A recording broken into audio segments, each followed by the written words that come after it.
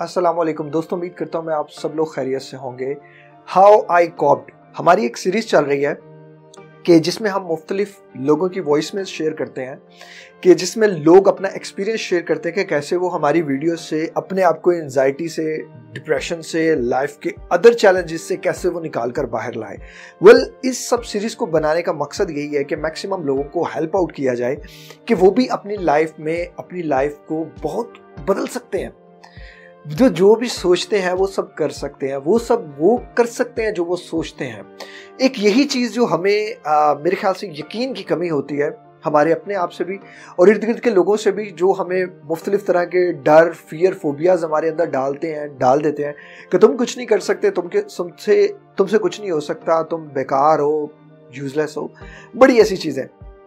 तो हमारी एक जो सीरीज़ बन रही है, कि जिसमें हम डिफरेंट लोगों की वॉइस मेल शेयर कर रहे हैं वेल कुछ जो है वो जिसमें हम एवरी संडे इसका एक एपिसोड अपलोड करते थे, लेकिन कुछ संडेज हम नहीं कर पाए।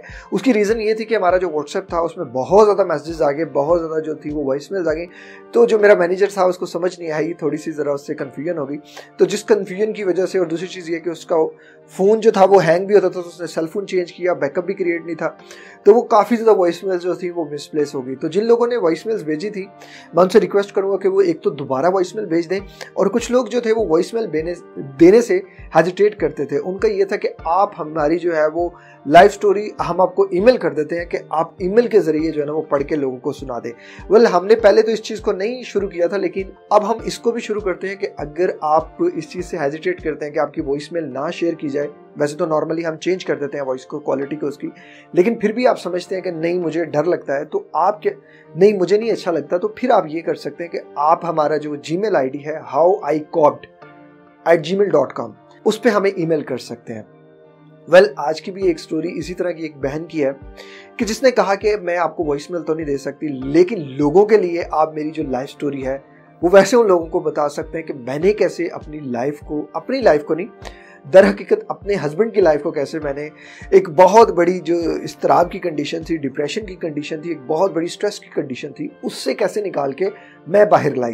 वेल well, मैं आप लोगों को अक्सर कहता हूँ ना कि अगर हमारे साथ कोई हेल्पिंग हैंड हो अगर हमारे साथ कोई इंसान हो जो हमें समझता हो और हमारी मदद करना चाहता हो और हमारी मदद सच में करे तो हम बड़ी से बड़ी चीज़ से लड़ सकते हैं, बड़ी से बड़ी मुश्किल से लड़ के निकल के बाहर आ सकते हैं। तो ये कहानी भी एक लड़की की ऐसी ही कहानी है। मैंने इस कहानी को नाम दिया, इस लाइफ स्टोरी को नाम दिया सुपर कुड़ी। लड़की को पंजाबी में कुड़ी कहते हैं। तो सुपर कुड़ी मैंने इस जो है वो लाइफ स्टोरी को नाम दिया है कि सच में एक लड़की इतनी बहादुर हो सकती है। ये तो मैंने किताबों में पढ़ा था और मैंने लिटरली देखा भी था कुछ लेडीज़ को शादी के बाद लाइफ में उनके ऊपर बहुत से सर्कमस्टांसेस आए तो उन्होंने अपने आप को, अपनी हिम्मत को, कभी जो है ना वो टूटने नहीं दिया।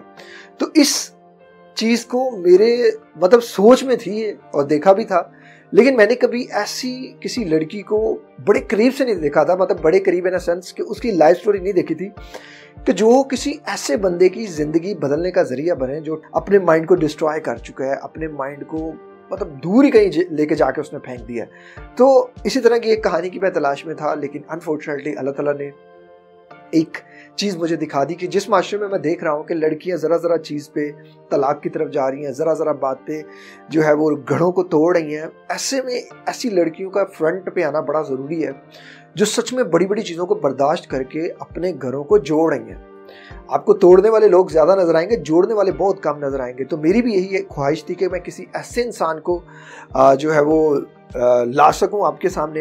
लेकिन अनफॉर्चुनेटली वो जो बहन है, वो पर्दा करती है शरण और वो इन चीज़ों को अच्छा नहीं समझती वॉइस मेल्स वगैरह को देना। तो इसलिए मैंने उनसे वॉइस मेल की जिद भी नहीं की। तो इस लड़की की जो कहानी है, मैंने इसको फर्जी नाम दिया है, सना का और राशिद का। तो ये कहानी आप सुने आपको ज़िंदगी में ना सच में बड़ी मोटिवेशन मिलेगी। ख़ास तौर पे मैं उन बहनों को ये आ, कहना चाहूँगा कि जो बहनें ज़रा ज़रा बात पे परेशान हो जाती हैं अपने शोहर से लड़ना शुरू कर देती हैं अपने शोहर को समझती नहीं है। प्लीज़ प्लीज़ हस्बैंड और वाइफ का बड़ा खूबसूरत रिश्ता है और मैं सच में आपको बात बताऊँ मर्द का गुस्सा बड़ा टेम्परेरी होता है। मर्द कभी भी अपनी औरत को दुख दे के खुश नहीं हो सकता। बशर्त ये कि वो मर्द हो। मर्द हमेशा अपनी औरत की खुशी चाहता है। वो हमेशा अपनी औरत की बका चाहता है, वो हमेशा अपनी औरत से मोहब्बत चाहता है, प्यार चाहता है। तो ये बड़ा एक प्यार का रिश्ता है, लेकिन आज के माशरे ने इसको बड़ा गलत जो है ना, वो पोर्ट्रेट कर दिया है। इसको बड़ा गलत जो मीडिया ने जो है ना, वो हमारे सामने ले आया जो वल सना का कहना था कि जब वो 16 साल की थी, उसके माँ बाप चूँकि गरीब थे। और उन्होंने उसकी शादी जो थी, वो एक अमीर इंसान से कर दी। जो अमीर था, वो ऑलमोस्ट सिक्स ईयर्स का था। सना सोलह साल की थी और वो पैंतीस, छत्तीस साल का इंसान था। उस इंसान को मैंने नाम दिया राशिद को। सना और राशिद की जब शादी हुई तो इनमें कोई ऐसा ऐसी शादी वाला नहीं था कि जैसे आम लोगों का होता ना, शादी हुई है तो गुल्ला मिलाना है रिश्तेदारों में, बीवी को खुशियाँ देने की कोशिश करनी है। सना कहती है कि पहले दिन से लेके उस इंसान ने मुझे हर तरह का जहनी टॉर्चर करने की, फ़िज़िकल टॉर्चर करने की कोशिश करता रहा। वो कहती है कि पहले दिन का मुझे किस्सा याद है कि हमारा वलीमा भी नहीं हुआ था। पहले दिन का किस्सा याद है कि एक तो मेरा शोहर जो था वो रात को तीन बजे घर आया, अपने दोस्तों के साथ निकल गया और आते साथ ही उसने मेरे मुँह पे थप्पड़ मार दिया और मैं उस चीज़ को लेकर बड़ी परेशान हो गई। वेल इस से मैं ये नहीं कहता कि आप जो है वो थप्पड़ खाएँ, लेकिन सब्र करने वालों के साथ है। अल्लाह अगर तलाक का हक अल्लाह ने दे रखा है लेने का भी और देने का भी तो सब्र का हक भी अल्लाह ने दे रखा है।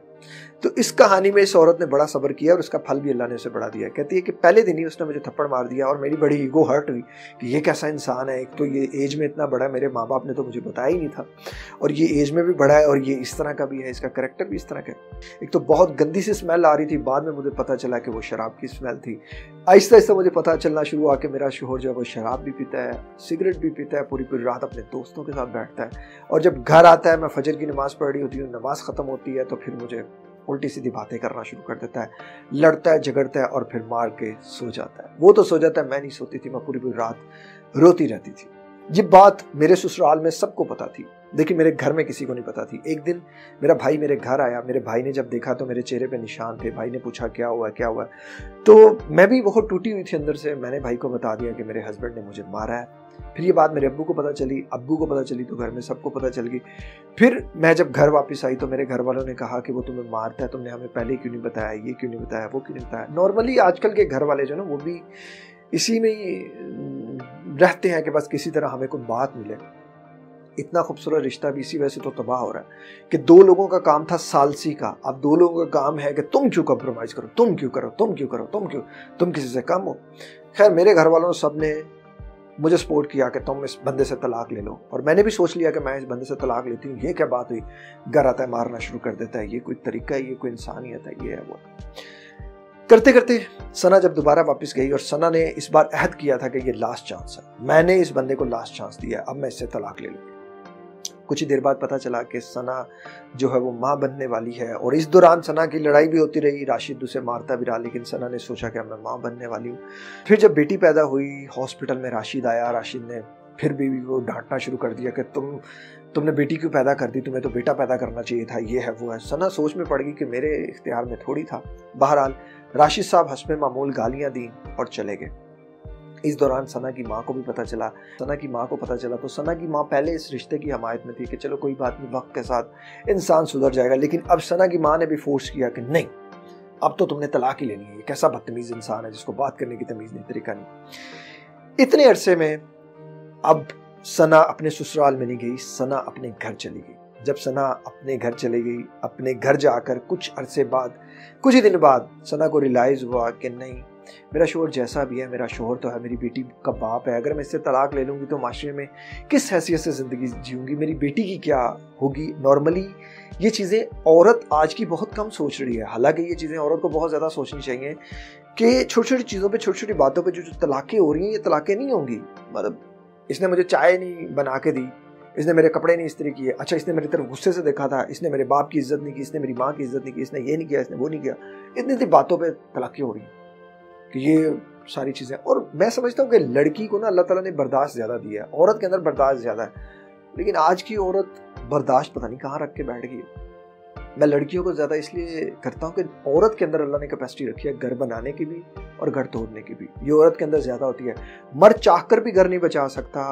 औरत का चाहना जो है ना वो घर बचाता है। मर्द के अकेले चाहने से घर नहीं बच सकता। बहरहाल, कुछ अरसे बाद ही सना फिर अपने घर आ गई, अपने शोहर के घर। जब वो घर आई तो उसका था कि इतने दिनों बाद मैं घर जा रही हूँ तो मेरे शोहर पे शायद थोड़ा सा असर तो होगा। लेकिन जब वो घर आई तो राशि साहब हंसबे ममूल जरा सी बात पे लड़ाई हुई और उसको फिर उसने मारना शुरू कर दिया। सना ने सोचा कि अब मैं क्या करूँ? फिर उसने कहा, नहीं, मुझे इसी इंसान के साथ ही ज़िंदगी गुजारनी है। तकरीबन कुछ हफ्तों बाद राशिद को नींद का मसला हो गया। अब उसे नींद नहीं आती थी। पहले तो वो रात पूरी जागता था, दोस्तों के साथ अयाशी करता था और दिन में आके वो सो जाता था, लेकिन अब मामला इतना ख़राब हो गया कि उसे दिन को भी नींद नहीं आती थी और जो उसके दोस्त थे, वो भी आहिस्ता आहिस्ता करके कम होना शुरू हो गए। वो भी अब उसके घर नहीं आते थे, कोई उसको नहीं बुलाता था, उसकी पागलों जैसी हालत और कैफियत होना शुरू हो गई। सना ने जब ये सारा मामला देखा तो उसने फैसला किया कि मैं इसको किसी डॉक्टर के पास लेकर जाऊँगी। जब वो डॉक्टर के नाम लेती थी तो राशिद साहब जो थे, वो कहते थे, नहीं, मैं नहीं जाऊँगा, मैं नहीं जाऊँगा। सना ने उसको एग्री करने की कोशिश की। राशिद एग्री हो गया और वो एक डॉक्टर के पास चले गए। जब वो एक डॉक्टर के पास पहुँचे तो उसे पता चला कि राशिद साहब जो है, वो जिनी परेशानी में है, जिनी प्रॉब्लम में है, जिसकी वजह से ये सब करते हैं। उस दिन जब सना को ये बात पता चली तो सना बहुत ज़्यादा परेशान हो गई। सना ने कहा, नहीं अब मैं इस इंसान का साथ पहले से ज़्यादा दूँगी। मैं इसको इस सब दर्द से, तकलीफ़ से निकालने का बाइस बनूँगी। उन दोनों ने डॉक्टर से मेडिसिन ली और वो घर आ गए। जब वो घर आए, राशिद ने मेडिसिन खाई और वो सो गया। अगली शाम राशि जब उठा तो वो काफ़ी फ्रेश था, काफ़ी खुद को हल्का महसूस कर रहा था। उसने सना से बड़े अच्छे तरीके से बात की। सना बड़ी खुश हो गई कि शुक्र अल्लाह का देर आए, दुरुस्त आए। शादी के तकरीबन डेढ़ दो साल बाद ही मेरा शोहर थोड़ा सा बदला बदला तो सही उस लड़की ने। शुक्राने के नफल अदा किए जब शुक्राने के नफल अदा किए तो वो बहुत खुश थी। वो सारी रात उसका अपने शोहर को सोते हुए देख के बहुत खुश हो रही थी। फिर उसने फजर की नमाज़ अदा फिर अगले दिन तकरीबन दस बजे के करीब राशिद उठा। राशिद बड़ा अच्छे मूड में था।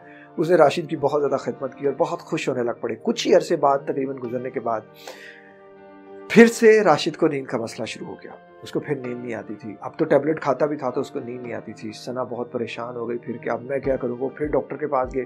डॉक्टर ने इस टाइम, इस बार थोड़ी डोज और इंक्रीज कर दी। जब डोज थोड़ी इंक्रीज हुई, सना इस बार थोड़ी परेशान होगी। सना ने सोचा कि क्या हर कुछ दिन बाद इस डोज को इंक्रीज करना पड़ेगा। और इसी तरह ये चीज़ें जो है, वो तंग करेंगी।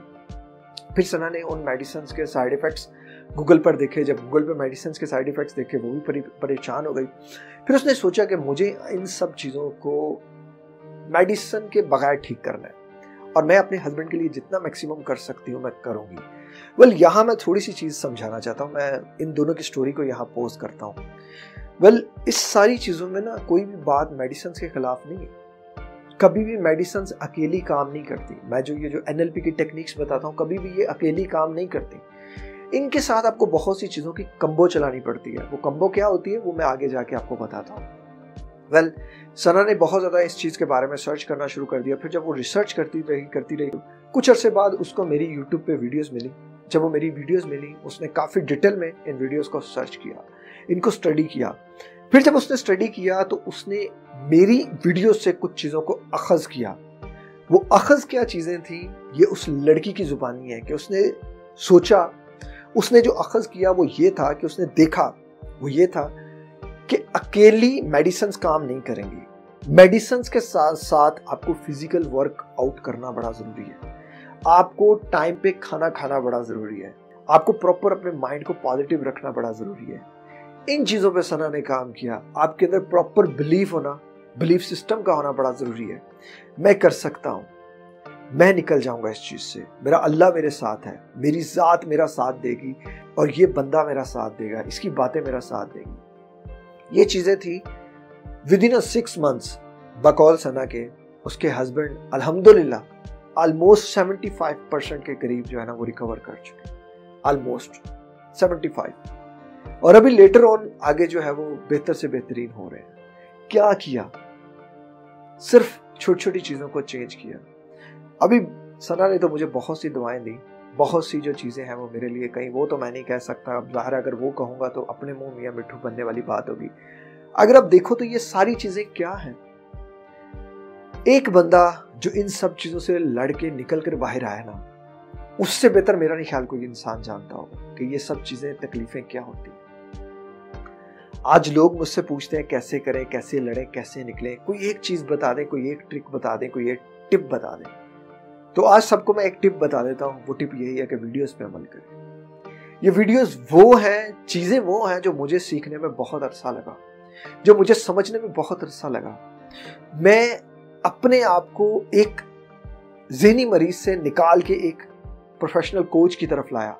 ये सब अरसा आसान नहीं था, बड़ा वक्त था इन सब चीज़ों में बड़ी दर्द थी, बड़ी तकलीफ़ थी।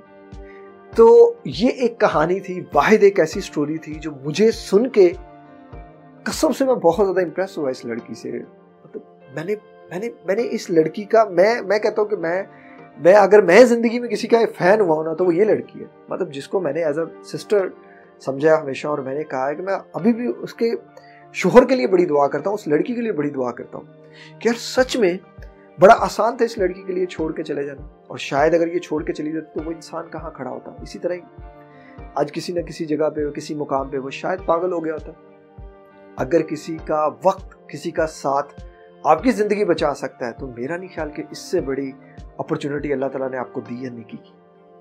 आज मेरे ख्याल से उस लड़की ने दुनिया में जन्नत खरीद ली। अब वो जब तक ज़िंदा रहेगी ना ये ज़िंदगी भी उसकी जन्नत रहेगी और वो ज़िंदगी भी उसकी जन्नत रहेगी। उसने अपना मुश्किल वक्त देख लिया।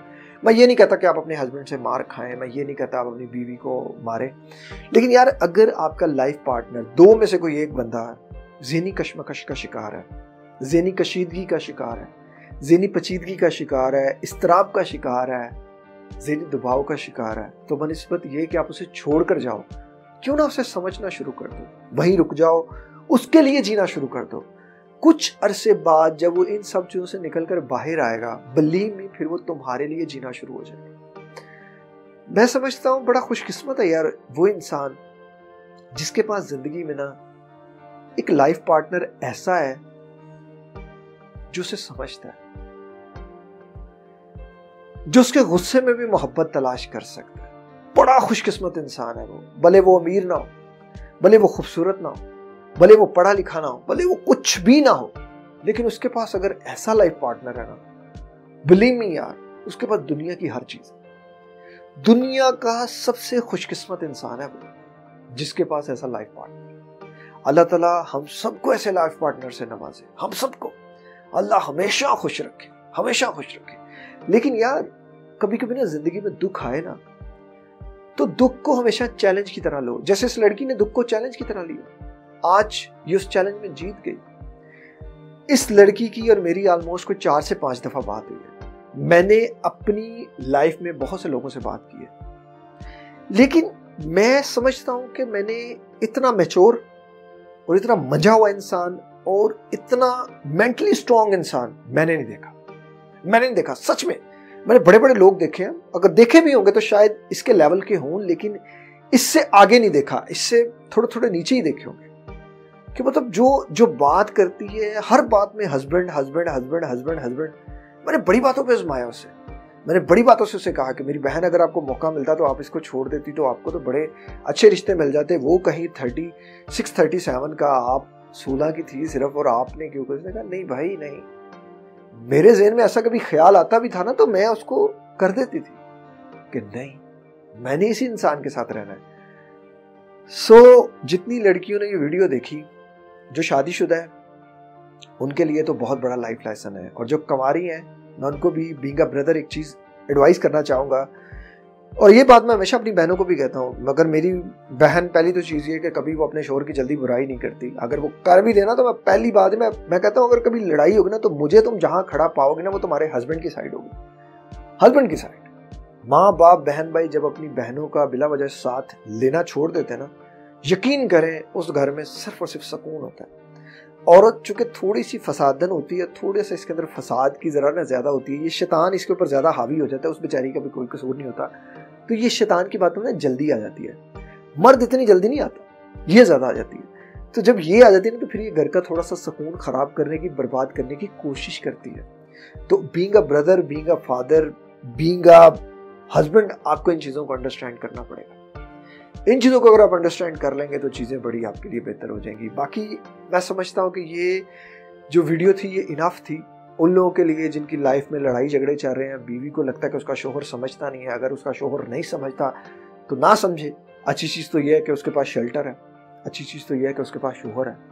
मोस्टली लड़कियाँ जिनके पास शोहर नहीं है। अच्छी चीज़ तो यह है कि उनके पास औलाद है। मोस्टली लोग हैं जिनके पास औलाद नहीं है, अच्छी चीज़ तो ये है कि उनके पास तीन वक्त का खाना है, बाकी सारी चीज़ें नहीं समझता, वक्त के साथ समझ जाएगा, टेंशन ना लें आप, अल्लाह तला आपके लिए और हम सब के लिए हमेशा आसानियों के मामले रखें, हमेशा खुश रहें, हमेशा खुशहाल रहें, अपना और दूसरों का हमेशा ख्याल रखें। अल्लाह ताला आप सबको ढेर सारी खुशियों से नवाजें। असलकम अल्लाह हाफिज़।